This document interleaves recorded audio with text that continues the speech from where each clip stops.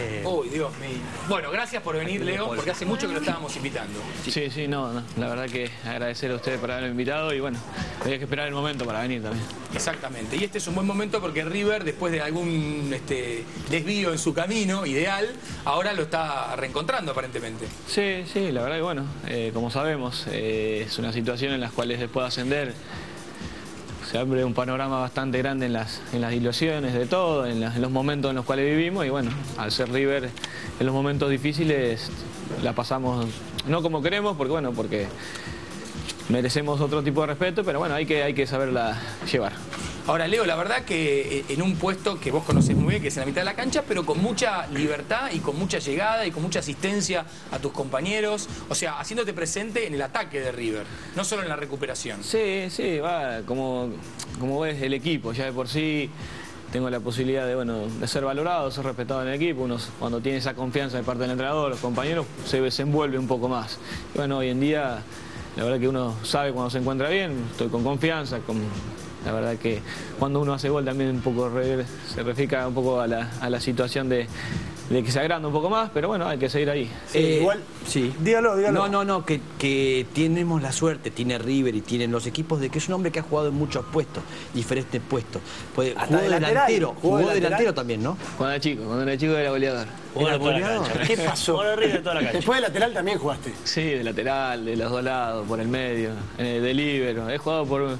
En mi, en mi carrera he jugado por muchos lugares, pero bueno, ¿qué pasó cuando era delantero? Y como todo, te vas dando cuenta, o se va dando cuenta el entrenador y te va. Los entrenadores eran los que te iban poniendo. No, Sí, claro, sí, un poquito más acá, un poquito No, más acá. hay una característica que tenés que es física. A José le pasaba, pero del otro lado de la línea de caldo. Esperame acá, me decían. Después Quédate ahí. Pero yo tengo un... Ahí, ahí, tu puesto es No pasé de Yo arranqué delantero y lo entiendo, porque también las características físicas. A mí se me acabó la nafta a los 28, veo que a vos no. Me lo pasaron a gas y no me avisaron. Pero vos cada vez estás mejor y es, es una característica tuya. Lo- La técnica, pero también el estado físico. Sí, Hacer sí, diferencia sí, con eso. no, no, sí, está claro. Es eh, uno por ahí el sacrificio lo tiene incluido. Sí, así que en ese sentido ya sabemos cuando hay que trabajar, trabajamos. Y bueno, después, como todo, uno los años lo va aprendiendo un poco más las cosas, cómo, es- cómo se, hay que moverse, la manera que hay que esforzarse también en, en los momentos de los partidos. Pero bueno, estamos ¿Pero en estás una... más vago en el entrenamiento? ¿Hacés valer No, los no. 30 años? O- No, uno cuando va, se hace... un poco va, los años van creciendo. Vas madurando. Sí, te vas más cuidando de otra manera. Claro. Eh, sí, eso también Llegás lo hice un- al revés yo también, me. Llegas un poco antes a, casi a los entrenos, pues sabes qué, qué tenés O sea, que hacer cuidarte las antes. comidas, Las todo, todo, comidas. todo, Yo creo que, que el jugador se va haciendo profesional Sí. a lo largo, a lo largo Claro. de, de su carrera. Sí, Y sí. cuando juega afuera también. También, Te ayudó. también. Sí, sí, me Me ayudó bastante. permite ir un poco dígalo. a Bueno, su pasado. ahora, fuerte. A su Leo. pasado, digamos. Este, ¿Oscuro o no? No, Gris. Turbio. Eh, Newell's. Sí. Estuvo mucho tiempo, empezó ahí en Newell's hasta los 18, de que debutó en Sí, la sí. primera, creo, tengo entendido. Este, vivía en la pensión. Así Sí. es. Juntaba de a moneditas para comprarse la Coca-Cola. Eran momentos difíciles. Sí. Eh, La doble pensión cola. también con gente muy, bueno, del interior, por supuesto, y juntábamos la moneda, teníamos un kiosco en la esquina, justo. Y, y en ese tiempo me acuerdo que la, la doble cola, se puede La decir, doble cola, salía sí. un peso de esa época. Así que 10 centavos cada uno eh, se podía juntar. Ahora, ¿cómo medían los tragos, los sorbos? Pero ¿Eran era la- codazo? viste que- Era grande. ¿La ajustaba en la Empezó a venir de 2 litros, 2 litros un poco más, ¿viste? Y ya Ah, entre eso 5 era podíamos... Claro. Se podía Ah, dos tomar. Eso sí, sí. Pero Te una llenabas guerra. con eso, porque... Y estaban atentos, como contaba este Batistuta, sí estaban atentos cuando venía, digamos, alguna caja con comida para Sí, otro, mucho. eh, se la robaban. Hemos sufrido de parte mía también, porque nosotros todos los fines de semana no íbamos al pueblo. Estábamos a una hora de Rosario. Teníamos un mueblecito de madera, todos, casi en toda la habitación, y cada uno guardaba sus.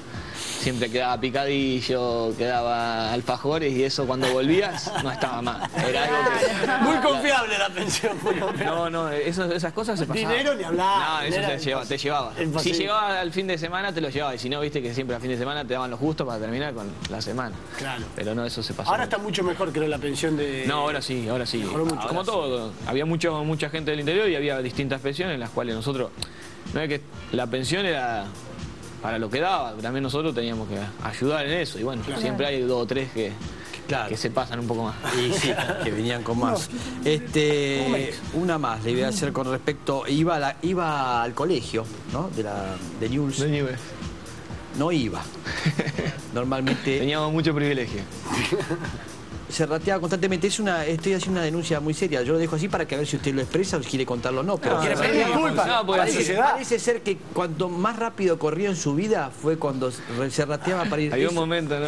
Había un momento del colegio en los cuales teníamos privilegio con el director de año, nosotros siempre había algo que teníamos que entre- a entrenar antes o después y, y un momento en cuales los recreos era el más, el más largo y bueno, ahí era el momento también de, agarrar lo poco que llevábamos y, y bueno, después el otro día que pasaba y no, teníamos que entrenar, era justificado, éramos tres o cuatro. Ah, se iban a entrenar. Qué Sí. bien eso, ¿eh? Y así pasó de año todo. Y así hemos todo. pasado de año, la verdad. Ah, Yo siempre digo terminé la secundaria, así que de esa manera, pero terminé. Sí, pero con acomodo, ¿verdad? O sea, terminaste con una gran ayuda, Leo, por favor. El director fanático de. Aníbal, Sí. dejalo a estos pibes que vayan a entrenar. Pero no rindieron. Ponles un 10. Son unos fenómenos, ponele un 10. Perdón, yo te quiero preguntar por la actualidad del equipo, después del ascenso y todo lo que vivieron. ¿Cómo están ahora? Hablé con Almeida hace un tiempito y me dijo, bueno, estamos para pelear, pero no sé si para ser campeones, para formarnos y quizá el torneo que viene, este, Sí. quizá tirarnos al campeón. Eh, vos sabés, la camiseta esa te, te representa mucho atrás. Tenemos No, no, una historia tan grande. de los cuales eh, nosotros lo principal es pelear ahí arriba. Después el torneo te lleva a distintas situaciones. Y hoy vemos como el torneo es tan parejo que sumando dos o tres resultados positivos de A3 Podés te nada. Eso es lo que queremos, porque realmente no lo, lo hemos tenido poco y es lo que queremos. Después, bueno, sabemos que este año para nosotros en cuanto a sumar sirve mucho. para estar tranquilo. Sí, para estar tranquilo y sumar y a la, a la vez si estás sumando y te puedes meter a una copa al fin de este año, de este dos semestres y también pelear un campeonato. Cuando estás ahí arriba en la última fecha, la verdad que al ser River eh, representa mucho. Y bueno, Yo igual quiero agradecerle públicamente y creo que todos nosotros, los que somos argentinos, le tenemos que agradecer a Poncio porque la verdad que jugadores con eh, el corazón celeste y blanco como pocos el tipo. Voy a contar una historia. A ver. Se venía, ya sabés de qué voy a hablar. 2010 se venía el Mundial, la figura argentina Messi, por supuesto. Poncio jugando en el Zaragoza, Sí. enfrenta al Barcelona. Sí, Messi. ¿Quién lo marcaba? Poncio, ¿qué dice? sí. Los- Mi, Si pego, equipo es el Zaragoza, enfrenta al Barcelona, lo voy a marcar Sí. como corresponde. Ahora, en otro momento, Poncio, sin el Mundial por delante, lo atiende a Messi fuerte. Y el tipo dijo, no puede llegar este pibe golpeado al Mundial No, porque él es argentino. lo decapita, lo decapita. Y Sí. no lo agredió. Lo marcó bien, pero, Lo marqué y no lo agarré. Esa era otra cosa. Difícil Es difícil, ¿no? es Es, es difícil. complicado. pero no se escapó una patada, nada, No, porque no. venía al Mundial. Si no, La Messi mala lo leche buscando no todavía. está. Y ante un jugador de eso, después si, si llegás es porque llegás a de estar a tarde y seguramente se puede interpretar las dos cosas. Sí. Pero bueno, sabemos lo que es Leo y tiene una, Pero tiene pará. una, ma- tiene una marcha más. Fuera de broma. Tenemos el video. Este es el. Bueno, hizo tres goles, Messi. Se ve que no lo marcó. Lo dejaste pasar. No lo toquen, no lo toquen, dice Poncio. Mirá, no lo toque nadie. No, no, no. Mirá, mirá. No lo Eh, toquen. bueno. Bueno, se tiene que tirar un poco. Un poco de espamento tiene que hacer. A los demás sí, a ese le puede- ¿no? Ahí Sí, ahí sí hay que matar. un- una, una piña. Ahí te, te- Ahí tuviste ganas, tuviste ganas, En tuviste esa ganas. jugada quedó una discusión después del entretiempo y estaba el partido se daba Gaby Milito. Y nos junta a los dos y dice, déjense joder, se van a pelear acá, dice. Ahora te digo una cosa, también a- mucha gente dice no le quieren pegar. Ahí es está. difícil voltear, es muy fuerte. Ahí, ¿qué le decías Messi, ahí? Parece que no. No, ahí le decía que no soy mala leche, que no, no hay la intención y que iba la pelota. Y ahí, ahí cuando vamos al túnel nos agarra, Le- eh, nos agarra Gaby. Ah, Y el- eh, te digo que Leo tiene su, su, su Su temperamento, carácter. su ¿qué carácter. te Sí, digo? no. Que, le- que para él le parecía que había ido Ahí te calentaste, un poquito te enojaste. Fue como que te sacó la pelota Mirá y le que- pegaste con un mundial. No, aparte me decía, mirá que, voy- que yo te, te voy a seguir encarando, me decía. Y sí, ya lo sé, me decía. claro. Mirá. No, no, no. Lo bueno es que no te, o sea, nadie te puede decir nada porque le- gambetea a 5 o 6 jugadores, Sí, es terrible. sí, sí, sí. De todos los que de enfrentaste, de los más difíciles, ¿qué otro te sorprendió? Cristiano. No, bueno, sí, Cristiano tiene una potencia bastante que no es en el fútbol no se ve, es muy, muy, muy dinámico y muy fuerte. Pero a mí mucho me gustó Iniesta, Deco. Verdad, uno miraba esas posiciones y, Claro. y en la época que yo estaba Deco, hizo- a lo que era Iniesta ahora, a lo que es Xavi, tiene Xavi también, ¿no? Para, para ser mucho, mucho, volante Pero te, central, te mucha pregu- técnica. te pregunto, Leo, ¿qué, ¿cómo es eh, Messi? Porque tenés que. ¿Cómo haces para, para marcarlo? ¿Qué tiene de diferente vos como jugador ahí? ¿Qué son los tiempos? Sí, sí, los tiempos, sí, te digo, tiene una, tiene una marcha más porque con la pelota, sin la pelota hace diferencia. El arranque está Te bien. arranca y vos sabes que algo te va a hacer y te espera y te, y, y te hace algo. Y cuando va a dos con- o lo querés defen- defender de a dos, algo te va a sacar. Eh, la verdad que de lo que sí es, para mí sí, de- lo, lo vemos todos los días. No, o me sea, imagino cuando, goles. claro, cuando juega, por ejemplo, ahí en Zaragoza, llegan al vestuario, o sea, ¿qué, qué te va a decir? Claro, no te puede decir nada. así, Aparte sí, agarra dos pelotas como es y te hace No un tiene desastre, análisis, un ¿no? desastre, Imagino. un ¿Quién te sorprendió acá, en, en Argentina, en, en tu vuelta? A mí me sorprende hoy en día que siempre tratamos de hablar mucho la gente que, que sube y que hoy al ser tan, una palabra, inconsciente de, la- de lo que de, de lo que a dónde llegan y cosas, mucho Luca Ocampo, Luca Ocampo, el pibe de, de Racing Centurión, son pibes que juegan y como si estarían en su casa, sin presión, no son eh, no se, no vas más allá de lo que puede pasar, de lo que no, entonces eso es bueno hoy en día en el fútbol hoy. Porque cuando puede entrar ya a una realidad de que sabes las repercusiones que todo, todo, claro, empezar. ahí otra cosa. Pero vos lo veías a Luca Campo que encaraba, volvía, recuperaba. Y vos lo veías al pibe jugando siempre igual. Y tenía físico, 17 aparte, años, claro, y tenía 17 años, lo que nosotros en el Nacional. Y ese A clase- veces alguna de más que algún, Claro, ¿viste? algún insultito. Pero, Bueno, pero él pero agarraba 17 y, y la pedía y agarraba y de pedía, vuelta sí, y sí, esto. y ese dura, tipo de gente hoy en el- acá en Argentina me llama la atención. Y bueno, después como compañero 13 Y le hablas a los más chicos, a Ciriliano, a, lo- a los que están ahí. Sí, sí, la verdad que somos, y son de escucharnos mucho, la verdad que tenemos un grupo en los cuales saben que le hablas para, para lo mejor y- Claro, y, buena nos onda. escuchan, sí, sí, la verdad que nos escuchan. Recién bastante. nombrabas a Trezeguet, otro que tiene experiencia también, Sí, ¿no? sí, la verdad que cada uno siempre me hablan, me preguntan siempre digo lo mismo, es, es muy argentino, aunque haya jugado en una otra selección y está disfrutando de lo que está haciendo acá y sabe que, bueno, por lo que yo hablo, todo lo que hablamos, él piensa seguir haciendo la carrera como jugador, bueno, lo que le queda y como técnico también, es un tipo que, que está cómodo acá en Argentina, ¿me entendés? Y la verdad que como ustedes lo escuchan hablar y es para ponerse a sentarse y que, y que realmente exprese Sí, lo, que, tranquilo. lo que, lo que vivió todo. Un racional, ¿no? ¿Qué tal? Volviste, te, te quería preguntar por la selección, ¿volviste? ¿Qué objetivo tenés ahí? Porque es complicado para los jugadores locales a veces, pero Sabela va armando un proyecto lindo también acá. Sí, yo, yo es- este, pi- pienso siempre y también digo cuando me preguntan, yo anteriormente estuve, casi en los últimos cuatro entrenadores estuve, pero pocas situaciones, en las cuales por ahí lo veía como un premio a lo que venía haciendo. Hoy en día, con un poco más de edad y un poco más de experiencia, me propongo y quiero eh, ser, ser parte de esta selección de eliminatoria también. Yo sé que estando Con el bien- objetivo con Brasil. el objetivo, sí, sí, como todo, porque antes las cosas a lo mejor las pensaba a corto plazo y decía, sí, disfruto. También ahora hay que disfrutar y también eh, aprovecharlo y porque realmente la oportunidad, sí, claro. mentalizarse en la cosa. Y vas y sentirse como me siento en River y vas y tratar de, si me pregunta, y- convencido. convencido. Hoy Que pienso te de lo esa mereces, manera. porque mu- muchas veces no- uno no Claro, se la es cree. un y- Claro, claro, claro, hay que creerse en estos momentos porque bueno, porque yo sé que después de todo esto, después de lo de- a otro mundial ya voy a tener una edad en la cual no, y bueno, pienso que puede ser la oportunidad. Ojalá. Seguro que sí. Bueno, tenemos que hacer una pequeña pausa y vamos a ir con la música de Coti. Pero antes, vamos a dejar ahí tocando una pregunta gancho fuerte. sí, dígalo. Poncio. Tiene, tiene. Es terrible esto. Eh, Leo, yo te suelto la mano. No, porque no, después no. de haber investigado, el- Es vergonzoso. siendo él pequeño, siendo pequeño, con otros parte de amigos de una gavilla, de delincuentes que tenía él. Una manada, una Una manada. manada, sí. Este, jugando en una carreta Con armas. su primo, armas por supuesto, hicieron un mal movimiento, qué sé yo, y al primo inocente le cortaron el dedo. ¡No! Cortaron el dedo. Y el, y el miedo era que la madre se entere. ¿Y qué hicieron? Lo amenazaron ¿Que al primo algo? que le iban a cortar todos La los dedos. Había robado un paquete de galletitas el No primo. es Eso, eso. Una actitud mafiosa. Horrible. Sí, Está en formol, el dedo no igual está en formol. No podés contestar, no Poncio, no podés contestar. No contestes, por Pero me favor. deja mal parado. Y no, no solamente vas a quedar mal parado lo que dure el corte, sino también lo que dure. Y además voy a decir algo que bien vale la pena hacer la Sí. aclaración. Leo Poncio lo miró a Chatú y le dijo, la verdad, estás muy bien, esto es lo tuyo. Como futbolista sí. no. No, no, futbolista sí, bueno, jugador reconocido, pero la verdad lo hace muy bien. Bien, muy bien. bárbaro. Porque donde hay un hay, un chatru. Aparte tengo compañeros también de, que dicen lo mismo.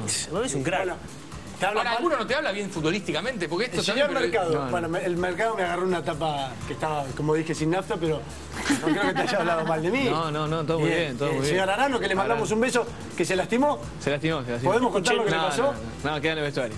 Terrible. ¿no? No escuché a nadie. hablar. pero no no, no, sí. han escuché a pegado- nadie hablar mal de Chatucho. Sí, que, escucho hablar que es pesado, es intenso a veces. Que eso es verdad, pues. Bueno, Chiche que se está recuperando, eh, eh, le, le pegaron en, eh, sus partes este, íntimas, así que le mando un beso. ¿Pero Una, una desgracia. No, sin querer, sin querer. Ah, no, bueno, River, Pero qué sé yo, perdón, a lo mejor hacen cada Tengo cosa. que hablar del señor porque me tocó marcarlo. Yo jugué de enganche en algún momento, un milagro, no sé, los técnicos que estaban pensando. Y el señor jugaba de 5. Entonces en un momento lo veo, lo veíamos con Gustavo, que iba a patear de fuera del área. Gustavo Barros Esqueloto, tu compañero Exactamente, en Racing. Recién empezaba, hacía dos años que jugaba. Iba a patear y uno dice, no va a patear ahí. Mirá la moral que tiene este muchacho. Mirá el gol que No hizo. pusieron Yo barrera. Ni barrera pusieron. Es terrible, es terrible el gol que nos hicieron. Hizo mucho de fuera del área, pero este para mí. No este es es otro. Pero eh, no entendió, porque le explicaron a Chatru.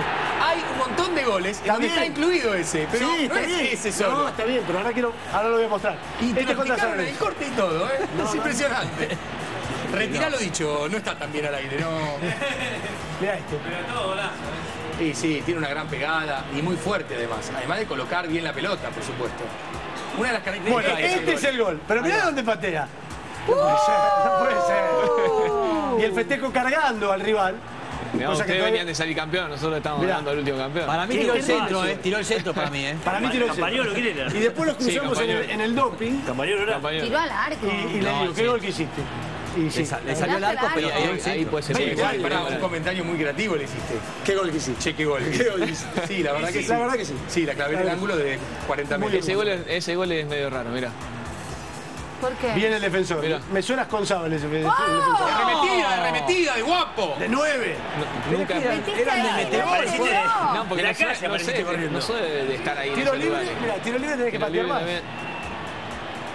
De cabeza, mm, No, de cabeza. ¿no hay ninguno de cabeza? No, no. De cabeza poco. Que te dejen ir al- a cabecear un día. Qué golazo, muy Te bien. digo, un 5 atípico, ¿no? Upa.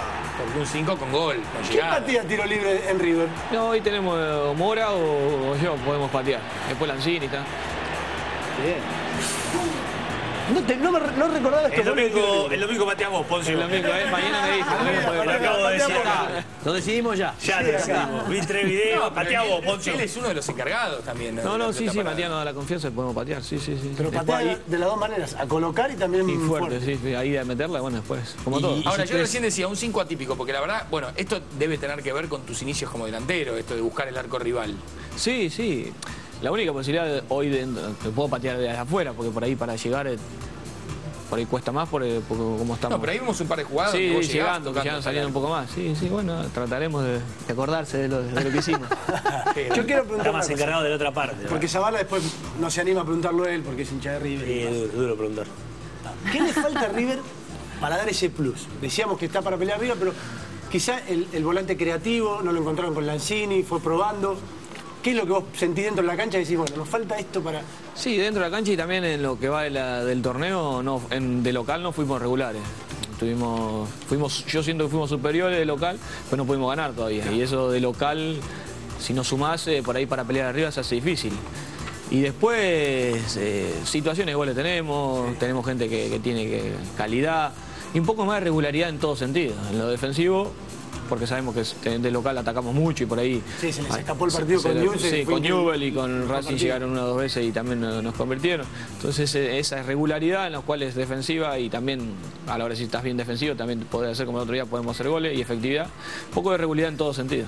Claro. Eh, Bueno, ¿Quiere perdón, no, no del nos dedo? desviemos porque había un gancho acá. Ya había un gancho, sí, que está una tratando de escaparse. Alfonso. Sí, No me eh, acuerdo, pero bueno. Son los había- cortadedos, ¿cómo no el me grupo de los cortadedos. Pasa que tuvo tantas situaciones mafiosas que no se acuerda. Nah, El Pachino era. Cosa de chico. No, No, ¿cómo cortarle cosa el dedo a un de primo. No, no, pero fue algo No, lo fisuró, le que se fisuró. dio, que se dio como... ¿Qué Fisuró el dedo, le fisuró el dedo. íbamos mucho de vacaciones al campo, donde estaba mi abuelo vivía en el campo y con mis primos. Mi prima y mi primo y yo mi hermana, de los cuales siempre era un, un casco de una estancia y la casa al, al costado. Nosotros nos metíamos donde no teníamos que meternos, Claro. como todo para curiosidad y muchas cosas.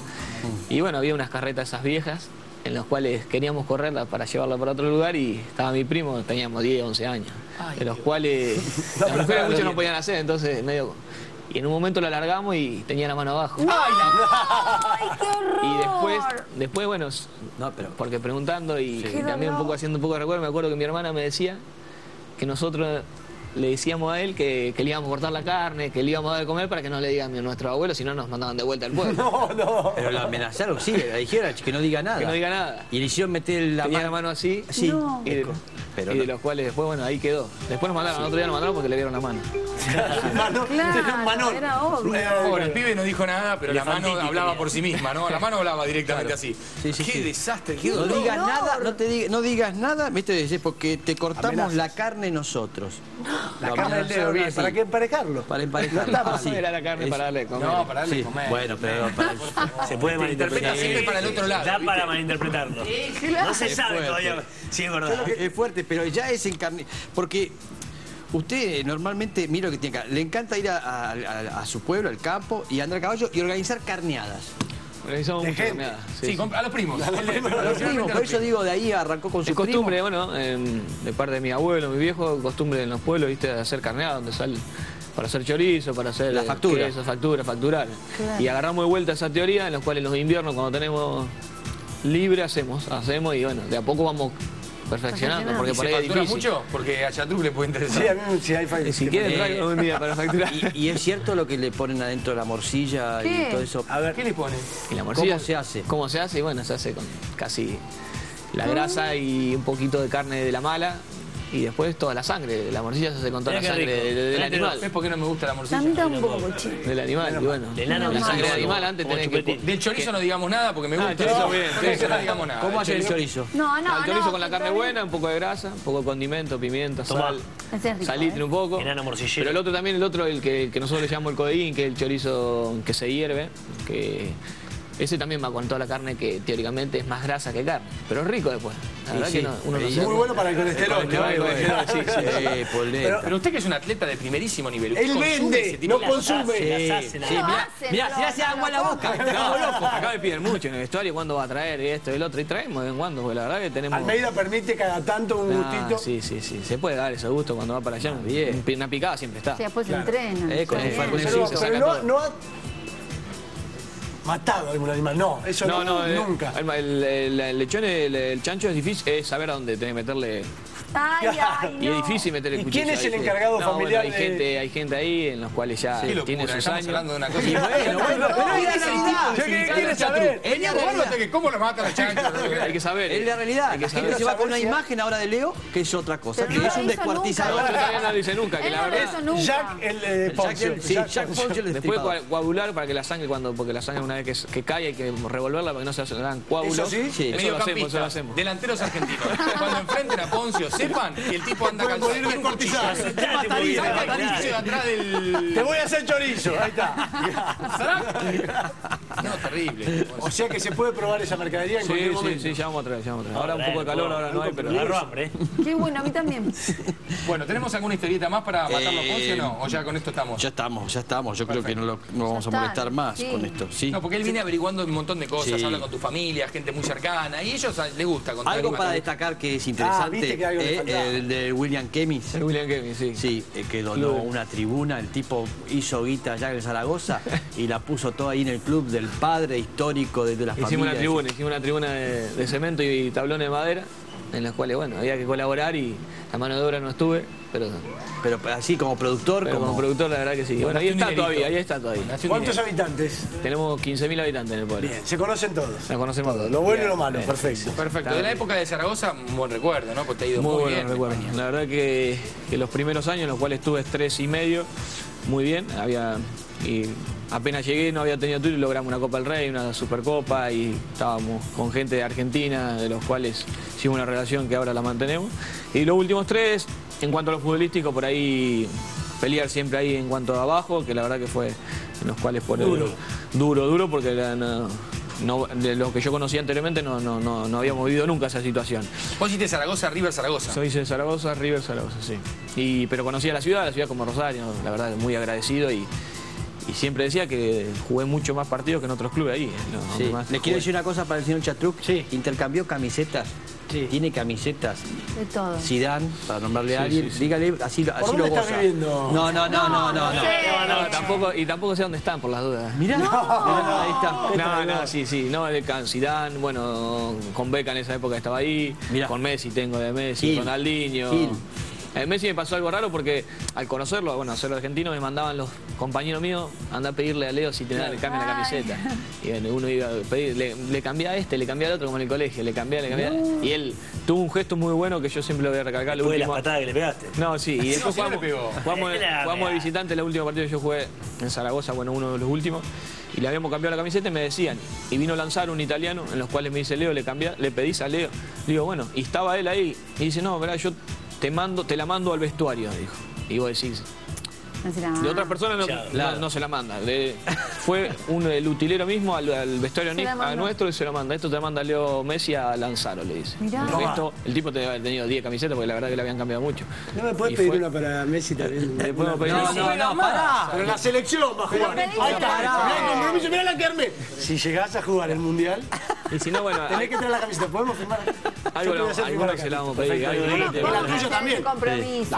Pero perdóname, va a venir próximamente Gaby Milito acá a este programa, que tiene Ahí se mucha relación, pedir. y ahí a Gaby le pedimos que traiga cinco. Bueno, está bien, quiero la de Ponce igual. Espera, yo quiero ver el... ¿Qué te tatuaste? Tengo un rosario tatuado. Ay, mirá, vos.